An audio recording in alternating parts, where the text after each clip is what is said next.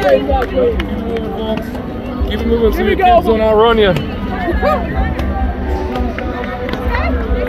Connor! Connor!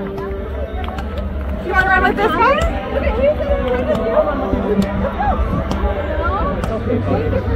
Next time. Keep on moving, parents. Keep on moving, please.